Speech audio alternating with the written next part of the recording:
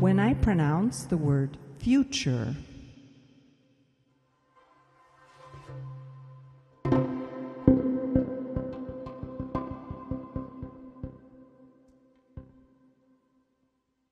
the first syllable already belongs to the past.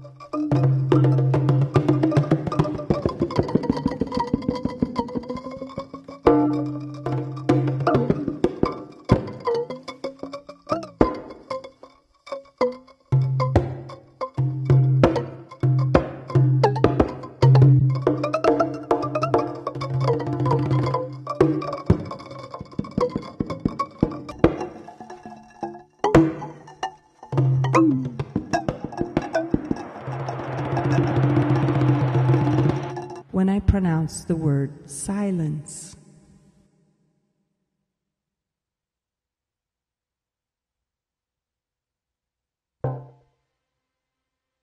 I destroy it.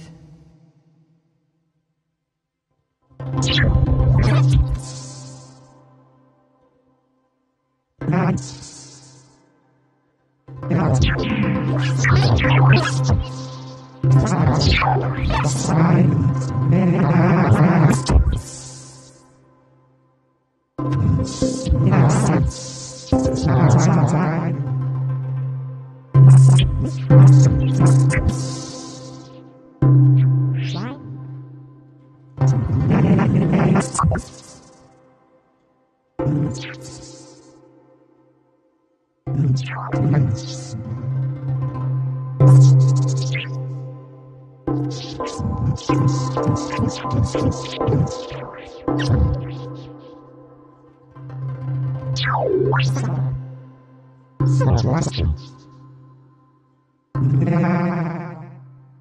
Excited.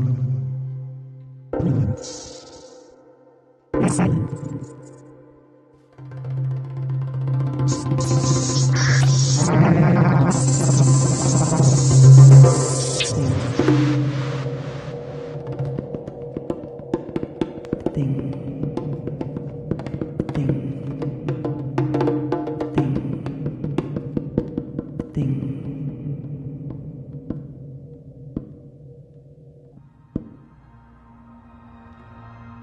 I pronounce the word nothing,